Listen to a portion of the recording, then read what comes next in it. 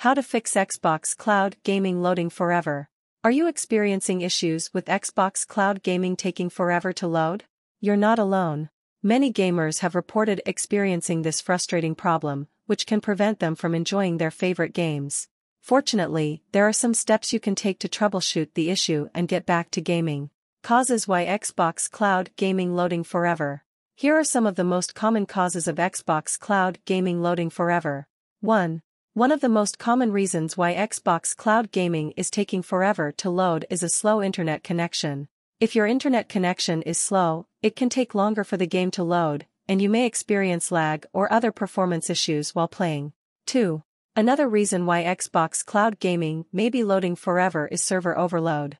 If there are too many people trying to play games on Xbox Cloud Gaming at the same time, the servers may become overloaded and struggle to keep up with demand. This can result in long wait times or even prevent you from accessing the service altogether. 3.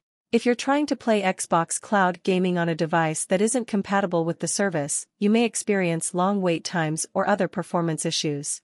Make sure your device is compatible with Xbox Cloud gaming before trying to play any games. 4. Finally, some games may have specific issues that cause them to take longer to load on Xbox Cloud gaming. If you're experiencing long wait times while trying to play a particular game, check to see if there are any known issues with that game on Xbox Cloud Gaming. How to fix Xbox Cloud Gaming loading forever. In this step-by-step detailed troubleshooting guide, we'll walk you through the process of troubleshooting Xbox Cloud Gaming loading issues. Step 1. The first thing you should do is check your network connection. Make sure you have a stable and fast internet connection. If your internet connection is slow or unstable, it can cause Xbox Cloud Gaming to load forever or not load at all.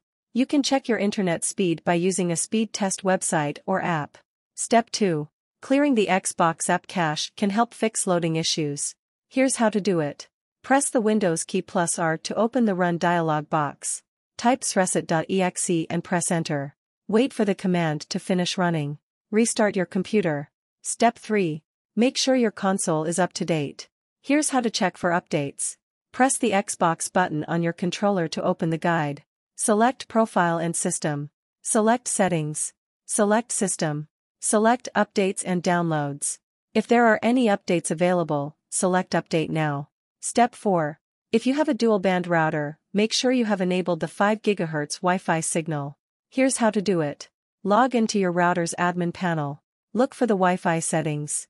Look for the 5 GHz Wi-Fi signal option. Enable the 5 GHz Wi-Fi signal.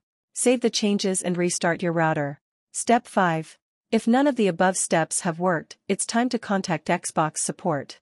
They can help you troubleshoot the issue and provide additional solutions.